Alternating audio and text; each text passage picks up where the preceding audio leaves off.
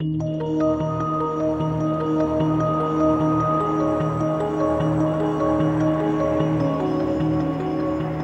wind industry has been growing at an absolutely astonishing rate. Uh, it's been growing at about a 40% rate every year for each of the last four to five years.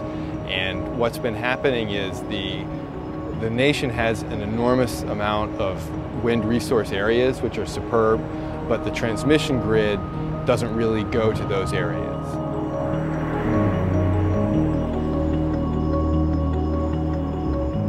The wind industry basically grew up around a model where you look for the intersection of windy sites with transmission lines, okay? And that's where wind farms have gotten built over the last decade. Going forward, there's still plenty of wind out there. There's just not much transmission. So those spots, those intersection spots have tapped out. So what we need to do now is build the transmission infrastructure to get the wind energy, which is plentiful, to the communities, the factories, the farms, and the cities, and all the other places where we need new forms of electricity. We've got a lot of friends and neighbors right around here that have had their land signed up for years already to build wind farms or to have turbines on their property and they'll just have to let their options expire because there's no way to transmit out what they're going to produce. There's the transmission capacity is not there to take what can be produced.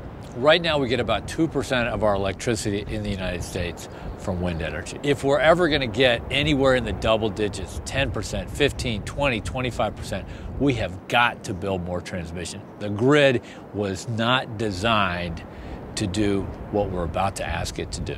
The electric system was built over time not as a national system, but rather you had small local utilities and they would want to electrify the town and they would build a coal plant to serve their town and they would run wires in their town and the coal plant would serve that town. And then over time, they slowly connected. But what happened was the, the grid grew up as a result of those sort of very gradual over time connections. So what you've got is you've got a local distribution system that kind of goes all across the country and is connected. But if you want to move major amounts of power from Nebraska to Chicago, you can't do it today. To get this corn to market, you need an interstate highway system, you need railroads to get this corn to where it needs to go. By the same token, you need transmission lines to move wind energy to market. What we're talking about here is the infrastructure for the new energy economy, okay? And to build this new energy economy, you gotta have a backbone of infrastructure in place. To put together a wind farm like the one here, like the one we're looking at today, is you got to get a lot of pieces to line up. You got to get the community behind you, you got to work with the landowners, you got to work with state officials. And we feel like that's exactly the same approach that you need to take to build a successful transmission line. If you can get all those people pulling behind you, you can get a project done. The central analogy of the Rock Island Clean Line is the comparison between the new transmission line for wind energy and the old Rock Island Railroad. And when you think about the Midwest and the way that the Midwest was built and the way that Illinois and Iowa and Nebraska were built, they were built as a result of uh, the railroads that allowed farmers to grow their crops and raise their livestock and sell their product to market. And we're, we're really very excited and we're finding a lot of people are very excited about the ability of this new Rock Island line to be a farm to market road for the 21st century. The Rock Island Clean Line is a project that will allow approximately 3,500 to 4,000 megawatts of wind, should be located in Iowa, South Dakota, and Nebraska, to be delivered to Illinois and from Illinois points east from there. The expected cost of the line is in the neighborhood of $2 billion and the expected value of all of the wind projects that would be built uh, and would serve the line uh, would be approximately seven to eight billion dollars. So you would see an enormous amount of job creation that would result from that. You would see enormous benefits in terms of property taxes that would be paid uh, by those facilities. You would also see significant job creation in all of the manufacturing facilities that would be producing the equipment uh, for the wind farm. That's mostly what we do is wind turbine gears. Depending on how many we are contracted to do, um, I can do about four of these a day here. Last year was a record year for the wind industry. There were 10,000 megawatts that were built nationwide, and our project alone would motivate 3,500 to 4,000 megawatts. That's about, what, 2,000 windmills, a little bit under it, which is 2,000 of those gears, and that's a lot of work. If the transmission lines aren't built, then people aren't going to buy windmills, and they're not going to order gears from our company that employs me. We're committed to making sure that there are beneficiaries all across the line. There will be beneficiaries in Illinois, there will be beneficiaries in Iowa, there will be beneficiaries in South Dakota and in Nebraska, whether it's consumer benefits or economic job creation benefits or the actual project development benefits.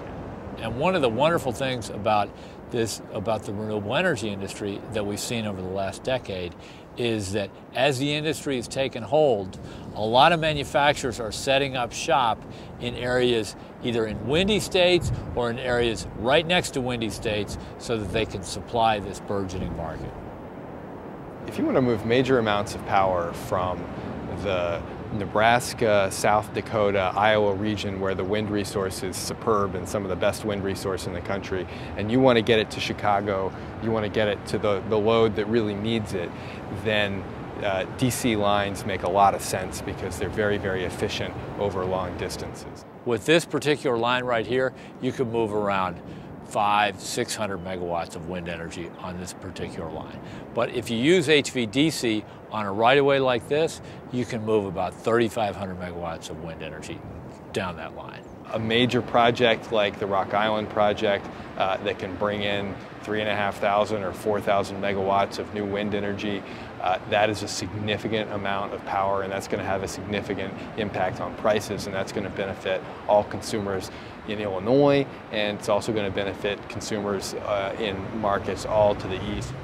What you got to understand is this is not about the cities. This is about the towns, this is about the factories, this is about clean energy for our entire economy.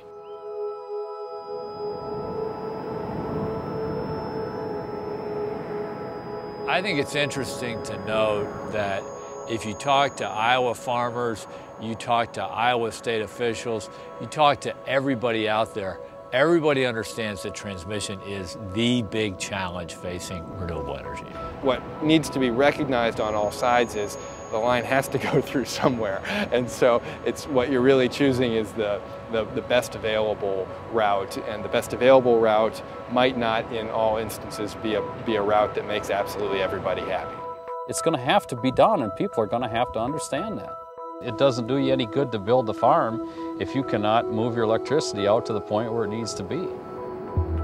Right behind me is a turbine that just shut down. And what happened there is the grid operator said, hey, there's too much wind in Iowa right now. We can't handle all this electricity. So they're curtailing the machines and shutting them down. There's just more wind than there is transmission capacity to get it to market.